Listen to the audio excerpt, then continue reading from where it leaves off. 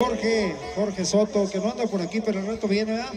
Le mandamos un saludo muy especial, por ahí se está viendo nuestro amigo Jorge Soto. Se le extraña, mi amigo, también.